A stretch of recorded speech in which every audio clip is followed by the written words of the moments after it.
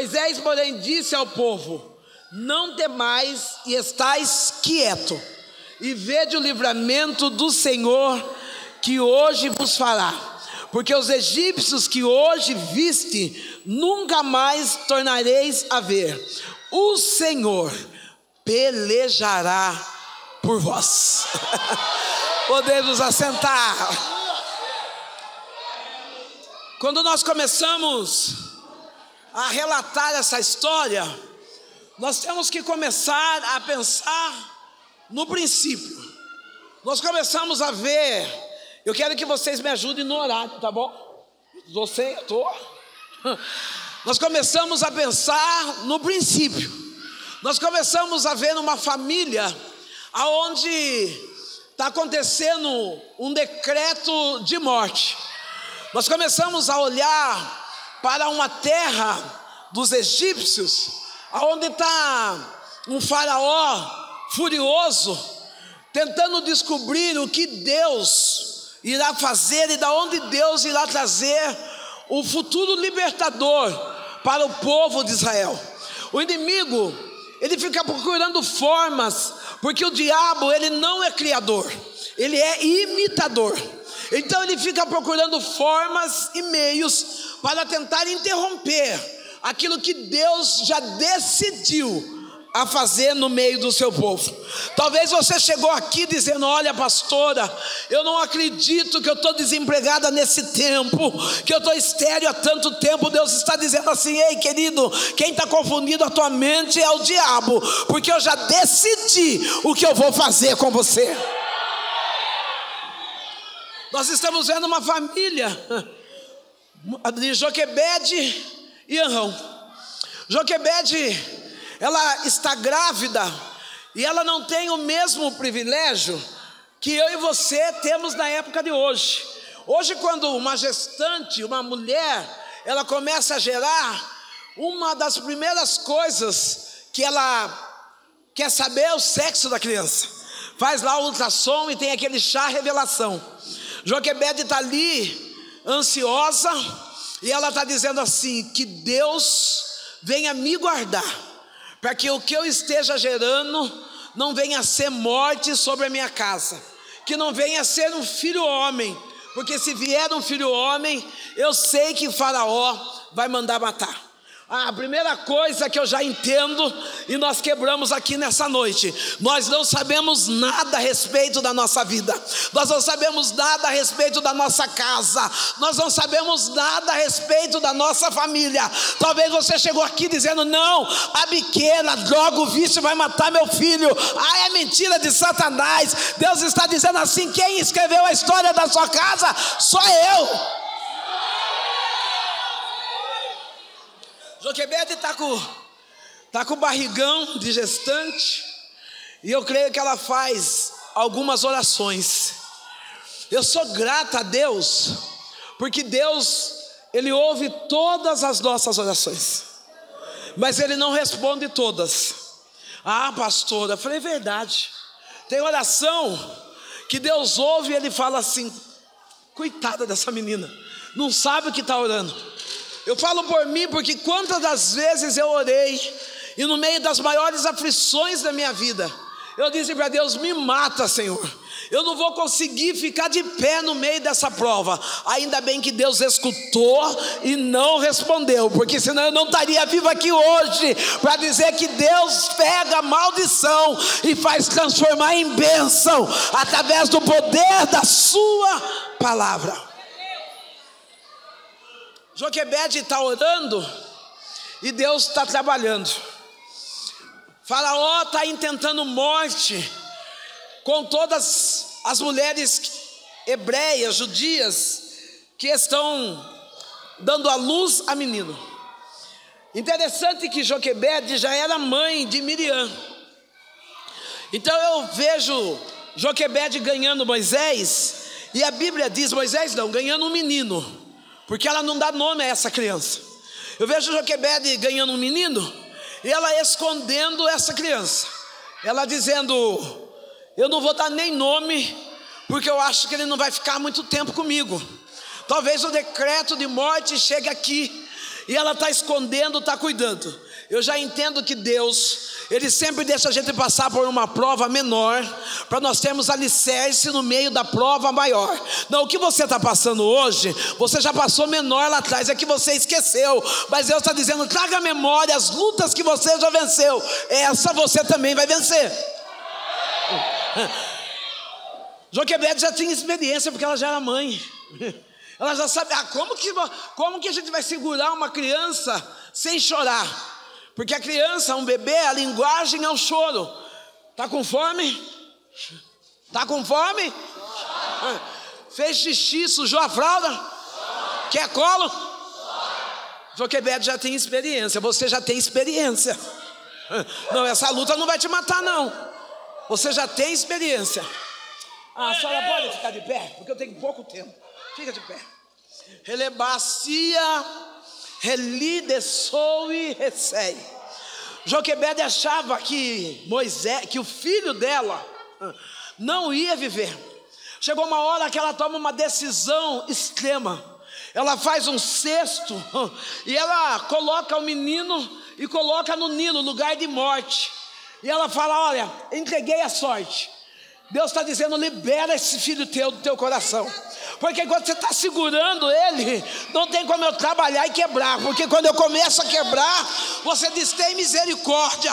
E Deus está dizendo: não, não é o tráfico, não é a polícia, é eu, meu Deus, que estou tratando com ele. Eu vejo Deus entrando na cela, elebaia, choba, serra. E Deus está dizendo: ô oh, mãe, eu já ouvi o choro do, do seu e o choro do menino. O que eu fiz não é para a morte, eu estou guardando, apenas confia que eu vou fazer.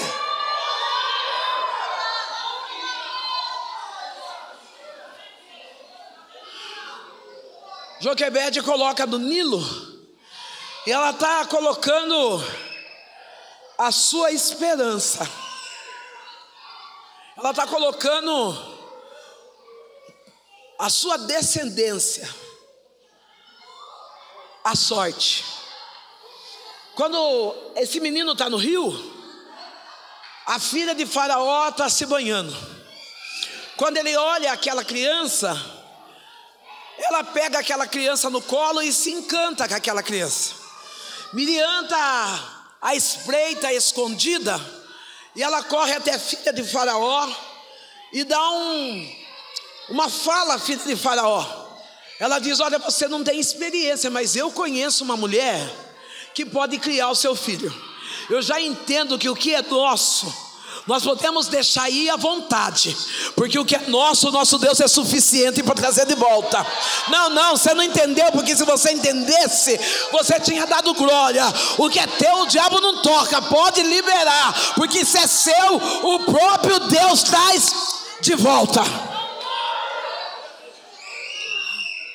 A menina pega, olha que coisa linda.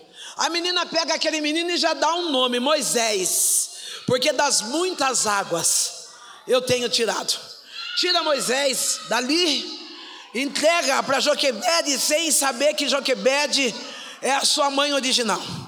Joquebede cria Moisés e no tempo hábil, Moisés vai morar na casa do inimigo.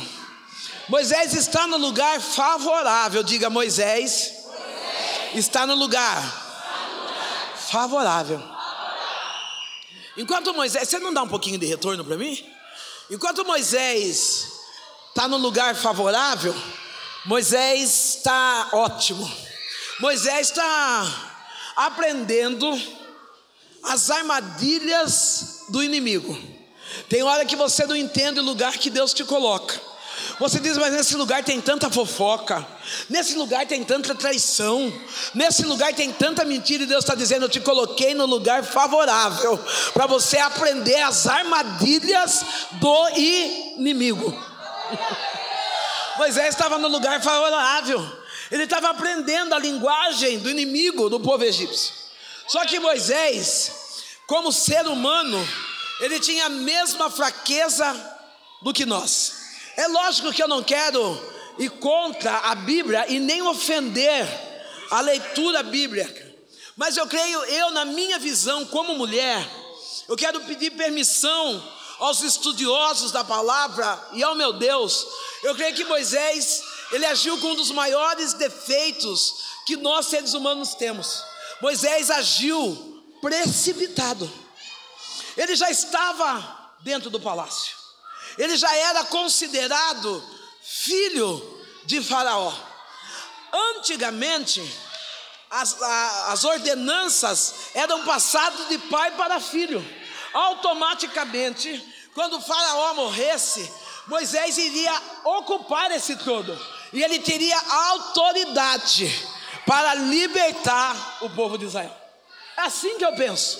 Mas Moisés se precipita ele não aguenta ver a dor e ele se torna um homicida, larga a mão de ser precipitado, porque no meio da sua pressa você pode matar alguém no chamado, você pode matar alguém no caminho. Não, pastora, mas eu tenho pressa de exercer aquilo que Deus colocou na minha mão para fazer. Não, não precisa ter pressa, porque Deus é dono da hora, Deus é dono do dia, Deus é noite da noite, Ele sabe a hora e o dia que Ele vai cumprir esse chamado.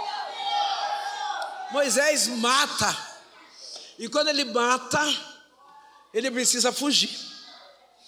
Ele foge e Deus começa a reescrever a história de Moisés. Enquanto para mim eu tenho uma dificuldade nessa luz, você fica de pé um pouquinho. Relibiando, reli de soubia de li refaz. Quando Moisés tem que sair do Egito, ele vai se esconder na casa de Jetro. Ali Deus começa a reescrever a história de Moisés. Tem hora que nós colocamos ponto final naquilo que Deus falou que vai fazer conosco. E nós dizemos: já passou tanto tempo da tua promessa, e eu não vejo mais como o Senhor fazer.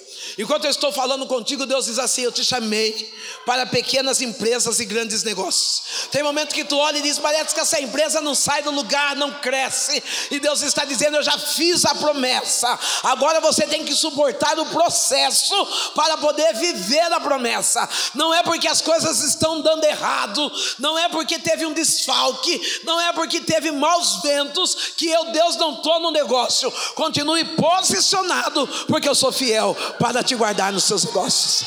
Ah, você pode aplaudir a Jesus aí nessa noite?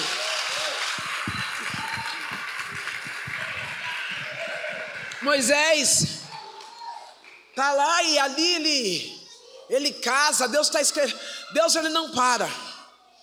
Aonde nós formos, Ele vai permanecer fiel conosco. Existem caminhos da nossa vida que nós podemos imaginar ou até pensar que Deus não está lá, mas Deus está lá. Você só superou, você só suportou, porque Deus estava lá. Você sozinho não iria passar por esse vento. Você sozinho não ia passar pela amargura da solidão. Você não ia passar pela dor da acusação do inimigo. Porque uma das maiores guerras que nós enfrentamos é quando a nossa mente está cativa pelos erros que nós passamos. Mas Deus está olhando para nós e está dizendo: Eu não estou olhando para o que você era, eu estou olhando para aquilo que você é. E é no que você é que eu vou escrever a sua história. Moisés está lá. E existe um chamado para Moisés. Você vai libertar meu povo. Eu imagino Moisés fazendo como eu fiz, e creio que alguns homens e mulheres que estão aqui fizeram. Até dá para usar, eu faço, e alguns homens e mulheres fazem. Nós temos medo do chamado. Nós olhamos e Deus fala assim: Eu vou chamar você para pastorear, para cuidar de orfanato, para fazer isso aqui. Ele fala: Eu, Deus, mas eu não levo jeito. Você acha que Deus vai errar quando escolhe? Deus, ele capacita os seus escolhidos. Ele não, não, você não precisa falar não, ai, porque não, não, Deus ele te capacita para exercer aquilo que você foi chamado. Ô minha linda que está com o bebê, pode ficar sentada. Relevar sou de reci refai, relide. Quando eu vim para Jesus, Jesus disse para mim assim: Eu vou levar a tua voz para que as nações te conheçam. Enquanto eu estou olhando para você, eu vejo uma educadora, relemando de que ressoubia relide fácil. E Deus diz assim: Eu coloquei você no lugar favorável. Eu vejo você ensinando crianças, trazendo performance em mente de crianças. E Deus está dizendo: É eu que dei o talento e capacito você a cada dia. Ah, você tem dito assim, Senhor, parece que eu tenho uma chegada na inclusão. E você tem enfrentado barreiras. E Deus está dizendo: Eu levantei você para trabalhar com pessoas portadoras de deficiência. E através dos seus trejeitos, através dos talentos que eu estou te dando, eu não estou te dando voz, mas estou te dando gesto para alcançar nações. Vai para Libras, filha. Trabalha que Deus é contigo no negócio. Educadora. Deus é bom demais. Moisés está sendo treinado no deserto. O deserto não é lugar de morada. Diga para o seu irmão: o deserto não é lugar de morada, é lugar de treinamento. O que, que você está fazendo sentado nesse deserto? Ai, pastor, eu estou no deserto. Saia, levante, saia. Vai ficar, vai ficar até. Pastora, mas foi Deus que me colocou. Não, mas se você posicionar, Ele tira. É que na hora que nós estamos no deserto, nós só sabemos chorar. Nós olhamos o povo, Moisés recebe esse chamado e vai colocar na presença de Deus a sua incapacidade. Moisés fala para Deus todos os defeitos que ele tem, e Deus, como é um pai amoroso, ele ouve as, as queixas de Moisés e coloca um ajudador. Deus está levantando alguém para te ajudar. Ah, você está falando, Deus, eu sozinho não vou conseguir. Deus está levantando alguém para te ajudar. Não, mas para com esse negócio de dizer, ai, quando eu casar. Para, gente, para com esse negócio. Tem gente que está mais preocupado em casar do que ir para o céu. Vamos para o céu primeiro. Depois você pensa nas demais coisas, buscar em primeiro o reino de Deus. E as demais coisas serão acrescentadas. Eu recebo um pedido de oração. Eu vou pôr baixo. Um 100 por dia.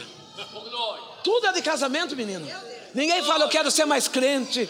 Eu quero que Jesus, não, quer casar, quer casar. Não esquece um pouco isso. Deus sabe o que você precisa. Não, não sou, não, pastor, eu só acho que não é importante casar. Lógico que a Bíblia diz que é bom, melhor ser dois do que ser um. Mas a Bíblia também diz: poderão dois andar juntos se não tiver de acordo. Então espera. Vamos pensar primeiro no reino. Deus vai levantar alguém para te ajudar. Quando Deus fez a promessa para mim que a minha voz ia alcançar nações, Deus já pegou, já começou a usar meu filho aí na rede social, já começou a usar a Marina nas agendas, aí, ó, eu estou indo. Deus vai colocar alguém para te ajudar. Deus chama Arão para ajudar Moisés. Moisés vai até Faraó e ele diz a palavra-chave. Moisés não dá, não começa a florear, porque quem é. Aí eu gostei do Senhor. Da hora que o Senhor subiu, Deus falou assim para mim, João Batista. E eu falei, Deus, ele falou, pode falar para ele. Eu falei, eu falo. É reto, não tem curva. Palavra de crente não pode ter curva mesmo. Ah, é, não, tem hora que você fala, ninguém para nessa igreja, não para porque o senhor é verdadeiro. Continue pregando evangelho puro. Moisés, quando chegou, ele não contou história, ele disse assim: Olha, eu vim aqui porque Deus mandou, eu vim para libertar o povo. Hum. Não, ele não chegou contando história para Faraó. Ele chegou claro e disse: Meu Deus mandou, eu vim aqui. Fazer o quê? Libertar o povo. Faraó olha para Moisés e a única coisa que o nosso adversário sabe fazer é zombar da gente. Tem alguém zombando de você? Já fique atento, é seu adversário. Não, pastora, Mas quem está zombando de mim é meu amigo. Ele falou que eu canto desafinado. Seu amigo? Amigo elogia, amigo coloca para cima, amigo incentiva. Olha, filha, hoje o seu louvor não foi bem, mas eu vou jejuar, amanhã vai ser melhor. Não, amigo não vai falar, pai, de cantar porque não é seu talento. Não, amigo fala, não, Deus te chamou para fazer. Pode contar comigo que eu vou orar por você. Arão estava lá, Moisés gago. Arão lá, faraó começa a brincar. Ai daquele que brinca com a ordenança de Deus. Uma hora você diz que você é pastor, uma hora você diz que você não é. Uma hora você fala que você é missionário, uma hora você desvia. Cuidado, para de brincar com Deus. Se posiciona. Não é um pé na igreja, um pé no mundo, é os dois pés dentro da igreja e a cabeça no céu. Faraó começa a, a, brincar com Deus, porque Faraó acha que aquela guerra é com Moisés. Tem muita gente que está brincando com você, achando que a guerra é com você, mas na verdade a guerra é com Deus. Não, não pode. Ah, eu queria pedir para aquela pastora que está de verde, que me abraçou logo que eu cheguei. Tem muita gente zombando, pode ficar de pé, minha linda. Tem muita gente zombando do seu ministério. Alamando de sirra mas Deus manda eu dizer nessa noite: a guerra que tu está enfrentando não é contigo. Eu, o próprio Deus, estou entrando com justiça nesse negócio. Alamando de sirra, que ele mandou de ceia, de Deus está dizendo: Eu coloquei uma espada de justiça. Aquele que passou e zombou e disse que a porta fecha, ha, sou eu, Deus, que digo: mantenha aberta e eu continuo te honrando, diz o Senhor dos exércitos. Levanta a mão para o alto e adora ao Senhor.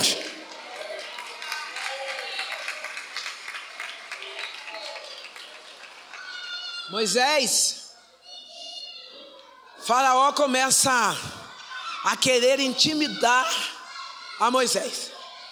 Deus, ele vai e entra na cena. E quando Deus entra na cena, começa a acontecer as dez pragas do Egito. Eu não vou citar as dez pragas do Egito, mas eu falo que aquele que trabalha contra o povo de Deus, ele nunca vai conseguir ser próspero. Se você é fiel a Deus, se você é fiel a Deus, pode qualquer um se levantar contra você, a mão de Deus vai fazer você prosperar. As dez pragas vêm, e Deus trabalha o povo israelita se une e eles saem do deserto. Eu não entendo, mas eu vou trazer os desertos da nossa vida. Eu nunca fui até um deserto, mas eu entendo que deserto é lugar de seca, é lugar de terra, é lugar de poeira, é lugar é de, é de ar pesado. Eu entendo que no deserto você planta e nada cresce. Eu entendo que no deserto você não tem direito de sonhar. Mas hoje eu já ouvi meu filho cantando: Os sonhos de Deus é maior do que o seu. Eu sei que o deserto não é lugar produtivo, mas a Bíblia diz que quando aquele povo sai do deserto, ele sai com ouro, sai com prata e sai com pano finos. Você já imaginou? No deserto, ah, sabe o que Deus está dizendo? É nesse desemprego, é nessa enfermidade, é nesse problema. Você não vai sair endividado, você não vai sair enforcado, você vai sair com linho, com ouro, com prata. Não, no deserto você vai sair rico. Como que pode isso? Você fica de pé, moço? Quando a gente fala em deserto, eu vou tentar, Rafael, segurar o microfone. Quando a gente fala em deserto, a gente pensa em vergonha. Halamai chode de si refaça. E enquanto eu estou olhando para ti, eu vejo um muro que caiu e Deus levantou. Helemai chode que E Deus está dizendo: diga a ele, Amaya chode que o ano de 2020, eu sei que foi um ano difícil. Eu sei que houve lágrimas, que houve choro, mas eu estou garantindo que a glória da segunda casa vai ser maior do que a primeira. Alamando do deserto da tua aflição, você não sai envergonhado. Tem pessoas que disseram: Não, eu vou destruir a vida dele. E Deus está dizendo: Eu já entrei como advogado nessa causa. Vai ter ouro, vai ter prata e vai ter honra, diz o Senhor dos exércitos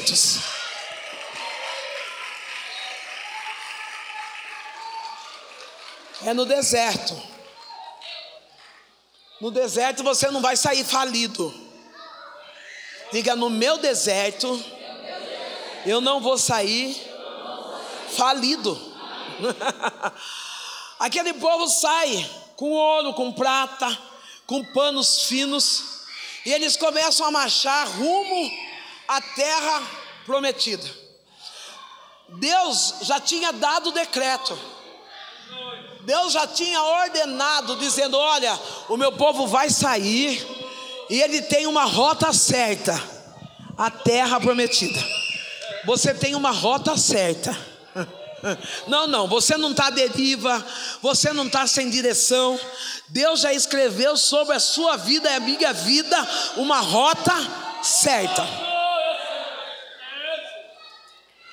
Enquanto, enquanto o povo está caminhando, Deus ele já tinha marcado o prazo. O prazo dessa caminhada seria 40 dias. 40 dias para chegar no local em que Deus iria levantar e estruturar a mentalidade do povo israelita. Eu entendo que Todos nós que servimos a Deus, precisamos todos os dias em Jesus Cristo renovar a nossa mente, porque a maior guerra que existe é dentro de nós mesmos. Nós olhamos para a promessa daquilo que Deus fez em nós, e quando nós olhamos, nós dissemos: é impossível Deus fazer, mas a Bíblia diz claramente no livro de Lucas, no capítulo 1 e no verso 37, que para o nosso Deus não existe impossível. Ah, você pode ficar de pé um pouco, aquela mocinha que sentou perto de mim? Fica de pé um pouquinho, minha linda. O espírito de cura está te visitando hoje. Halamando de si renei sou de res. Deus diz assim: diga ela que eu estou visitando o pâncreas. Eleia chomai que súbia. Elide faia súbia. O médico disse: não, não tem jeito. E Deus está dizendo: eu estou tirando pela raiz. Alamando de que, pai. Pode começar a preparar o culto de ação de graças. Porque aquilo que era para a morte, Deus está dizendo: é cura, é testemunho. Eu arranco com a raiz. Você vai passar o processo, mas vai viver a cura e o milagre de Deus, diz o Senhor.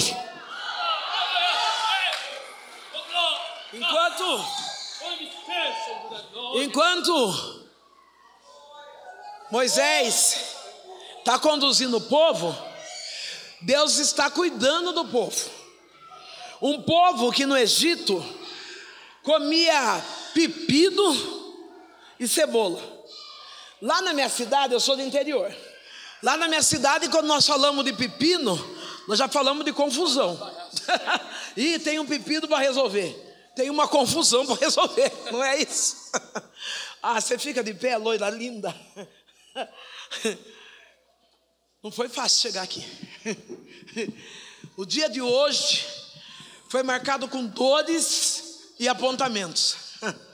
Foram tantos pepinos para resolver que quando tu chegou no altar, tu disse assim: Deus, quando acabar esse culto, eu preciso tirar pelo menos 15 dias para colocar minha mente no lugar. Alamai,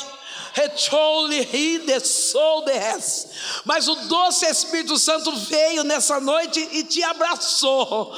E ele diz assim: as lágrimas que tu derramou antes de chegar, não se compara com a bênção que eu já estou integrando dentro da tua casa. Reliviando refácia. Ah, o inferno investiu pesado para que você não viesse. Chegou quase de você pegar o celular e dizer: não vai dar para mim dirigir esse culto. Mas Deus está dizendo: quem dirige é eu, o Espírito Santo. Ainda que a tua carne esteja fraca, o teu espírito é forte, diz o Senhor.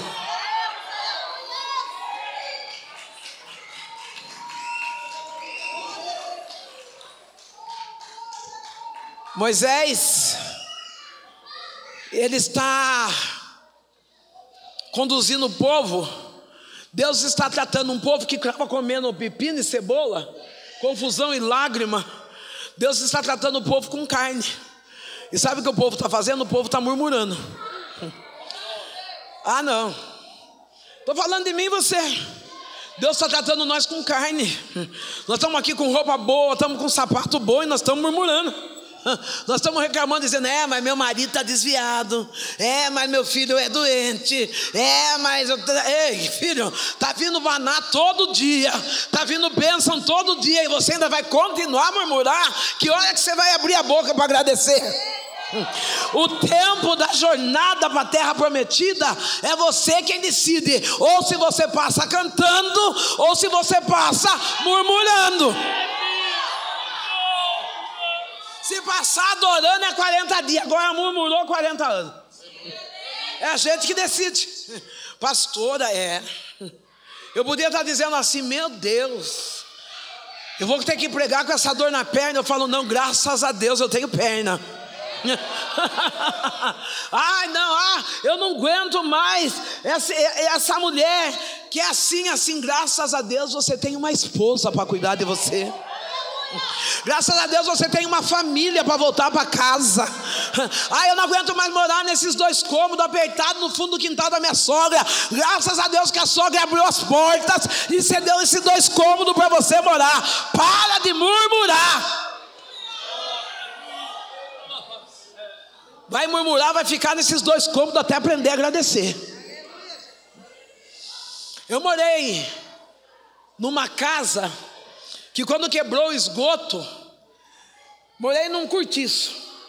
E quando quebrou o esgoto, tiveram que quebrar no meio da minha cozinha o cano.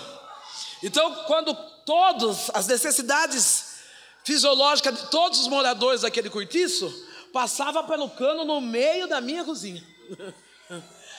Não é fácil não.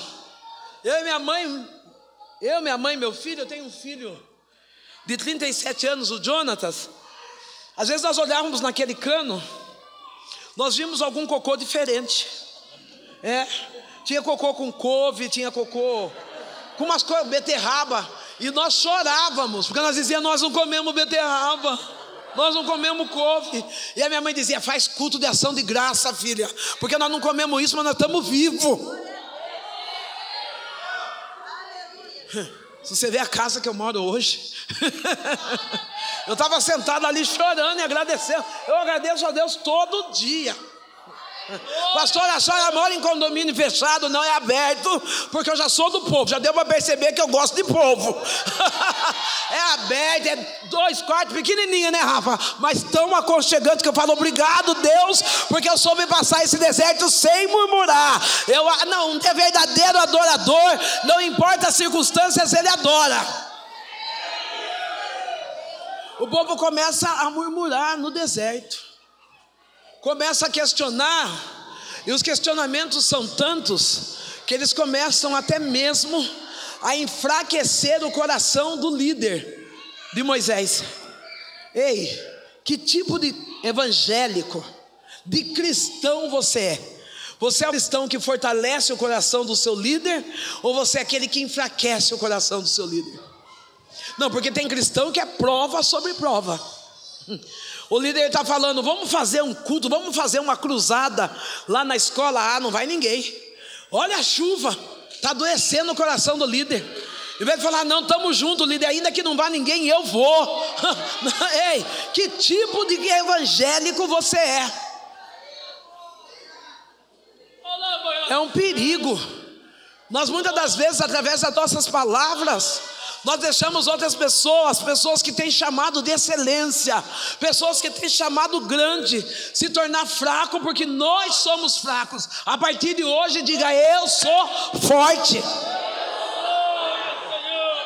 Chega de ser galinha de Angola, tô fraco, tô fraco, tô fraco. Muda, seja forte. Moisés, ele vai buscar conselhos e quando ele vai buscar conselhos, ele acha um dos maiores motivadores para falar com ele. O nosso querido e doce, amado Deus. Deus ele dá um decreto para Moisés e ele diz para Moisés: essa batalha nesse deserto já está garantida. Vocês vão passar em triunfo, mas tem um segredo: fiquem quietos.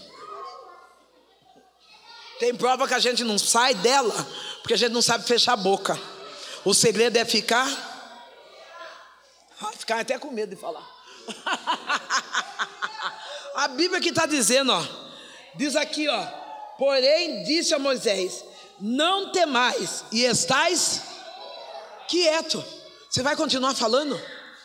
Vai continuar falando para o sorveteiro, vai continuar falando para a irmã do ciclo de oração, vai continuar falando na cabeça da sua mãe, do seu pai, não. Deus, aqui está tendo uma ordem, não tenha medo, fique quieto, e você vai ver o livramento que eu, Deus, vou dar. Você quer receber livramento de Deus? Aprenda a fechar sua boca, fique quieto. Não, livramento não é. Tem hora certa de clamar, mas tem hora certa de ficar quieto também. Para Jeremias, Deus disse: clama. Para Jonas, Jonas disse: na barriga do peixe, no ventre do inferno, eu gritei e Deus me ouviu. Mas para o povo que estava indo rumo à terra prometida, Deus disse: fica quieto, e você vai ver o livramento que eu vou te dar. E aí tem um moço que, da minha visão aqui, se a camisa dele não for vermelho bem escuro, é preta. Uma camiseta aqui, ó. Da onde eu tô, ou é bordô ou é preta. É, é, é bordô, né, filho? O povo. Moisés estava dando a receita. Tudo que Deus vai fazer para nós, Ele dá uma receita. E a receita que Deus está dando para você hoje é: fica quieto. É que você tem contado os seus sonhos e os seus projetos. E quem tem levantado contra você tem ferido o seu coração, e aí você desiste no meio do caminho, porque você abre a boca antes. Deus está dizendo: fecha a sua boca, não conte o seu sonho, o seu projeto para ninguém, e veja o que é que eu vou fazer.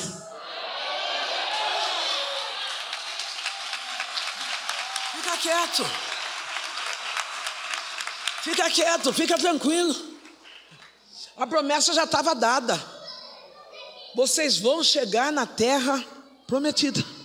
A promessa já estava feita. Você tem promessa aí? Então você está murmurando por quê? Ai, pastor, a promessa que eu tenho é que eu vou gerar. Enquanto Ana chorava e reclamava, Penina zombava. A hora que Ana falou, não, parou a brincadeira, eu vou entrar e vou adorar. Ela gerou. Fica quieta. Fica em silêncio, deixa o inimigo falar, deixa o povo questionar. Ah, mas ela não está vendo? Eu estou até vendo, mas a ordem que Deus deu para mim é para mim ficar quieto. Não tenha medo. Eu falo muito eu prego muito a respeito de do poder de ouvir, porque a Bíblia diz que a nossa fé ela vem pelo ouvir. Então eu sempre ativo a minha mente e a mente daqueles que me ouvem a não focar no que está vendo, mas acreditar naquilo que Deus falou. Mas hoje nesta casa Deus mandou deixar bem claro Diga a esse povo para ficar quieto e para e veja. Olha que coisa linda. O que Deus vai fazer não vai ser nada em oculto, todos vão ver. Não, você está achando que o que Deus vai fazer da sua casa? Ô oh, menina que cantou lindo, importa que eu sobrevivi, fica de pé. O que Deus vai fazer na sua casa não vai ser escondido. Não, porque você cantou sobreviveu, mas só você sabe como está sendo difícil continuar viva. Só você sabe as dores, quanta coisa você tem ouvido. Mas aí Deus diz assim: diga para ela ficar quieta, porque eu venho vindo com um grande livramento. Não só você, mas aquele dos quintal da sua casa vão ver o que eu, Deus, vou fazer.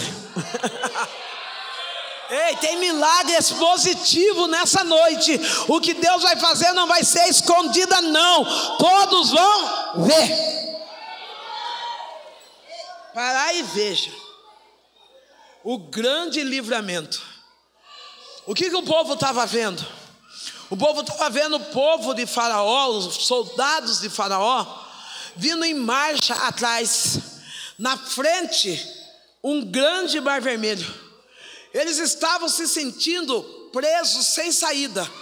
Tem momentos que nós olhamos circunstâncias que Deus nos coloca, que nós falamos, jamais vou ter saída. Agora o que sobrou para mim é o decreto de morte, é o câncer, é a AIDS.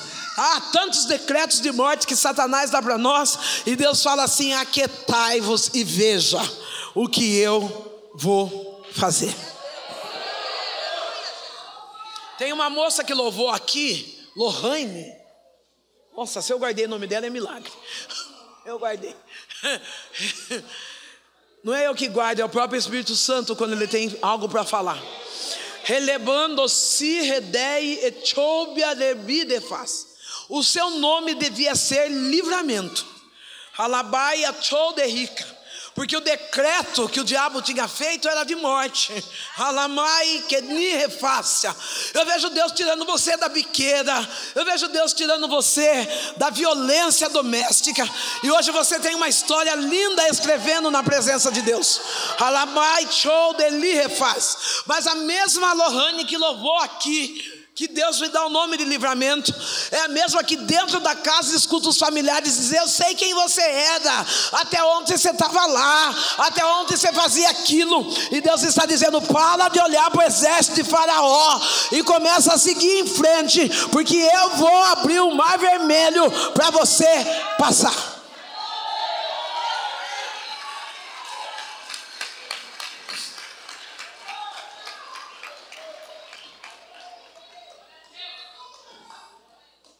Muitas das vezes nós não chegamos ao nosso destino profético, porque nós ficamos olhando para trás, ficamos olhando para aqueles que vêm nos perseguindo.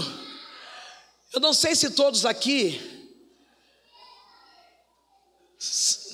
falar tem habilitação é fica muito fácil, sabe dirigir. Eu não sei se todos aqui sabem dirigir. Você já olhou o tamanho do retrovisor? Ele é bem menor, né? Porque o que ficou para trás não interessa mais. O que importa é o que vem para frente. Não, não, o que você viveu ontem, o que você viveu há 30 minutos não importa mais. O que importa é o que vem para frente. Você vai dar uma olhada no retrovisor só para referência, dizendo: Nossa, eu saí daquele buraco, eu saí das drogas, eu saí da falência, eu saí da prostituição. Não, mas não importa mais. O que importa é que eu estou indo para frente, para frente, para frente, para frente. O retrovisor é só referência para você lembrar do lugar que você saiu. Mas não, o retrovisor nunca é o lugar que vai direcionar o destino da sua chegada. Olhe para frente. Aquele povo está olhando para trás, eles estão com medo do exército de Faraó. Não tenha medo do seu inimigo. Deus disse para aquele povo: Sabe esse povo que você está vendo agora? Sabe esse exército do inimigo que você está vendo agora? Nunca mais vocês vão ver. Hum, olha que coisa. Oh, que palavra forte. Tem uma irmã lá no fundo de vestido azul, fica de pé para mim, querida. Relebaçou. Relebai chou de li reface. Que. Se for necessário Deus ressuscitar alguém, Ele ressuscita. E tu é mulher suficiente de fé para saber que Deus é capaz. Mas nessa noite Deus está dizendo: esse povo que está te afrontando, ah, prepara porque nunca mais você vai ver eles. Alamaia sou de Eu vejo Deus tirando um povo com mala e tudo de perto de você. Alamai sou de Deus diz: Eu estou tirando da cidade para trazer paz no teu coração. Tu disse: Não, Deus, eu vou embora. Deus está dizendo: Não, tu é menina dos meus olhos. Em ti ninguém toca, ninguém zomba. Eu já assinei esse papel. Não vai precisar ir para a justiça passar vergonha, não. Eu tiro o povo daquele lugar e você nunca mais vai ver.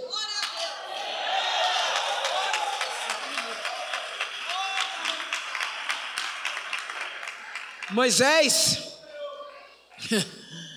Moisés, ele clama e Deus dá ordem.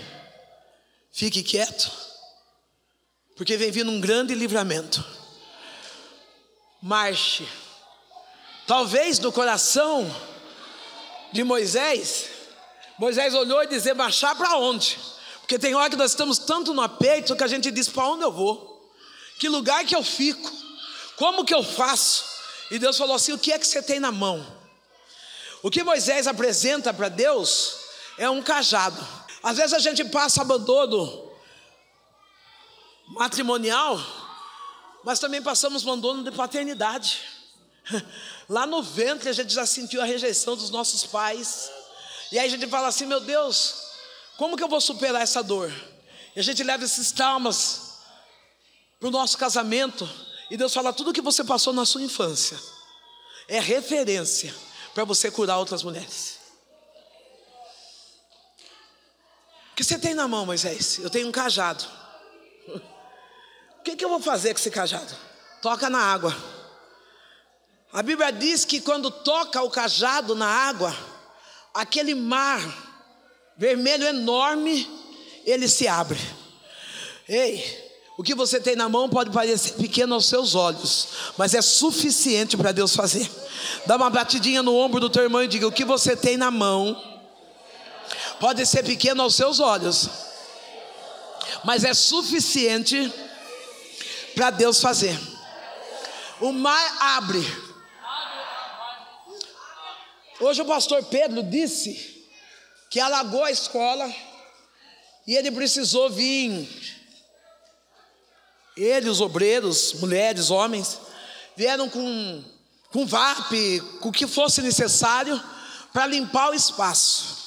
Talvez alguém aqui, eu já morei em rua que não é pavimentada, que não tem asfalto. Quando chove, é puro barro. Ei, quantas vezes eu coloquei saquinho sacola plástica no meu pé para chegar com o sapato limpo no culto. A Bíblia diz que o mar abriu e a terra ficou seca na hora. Sabe o que Deus está dizendo?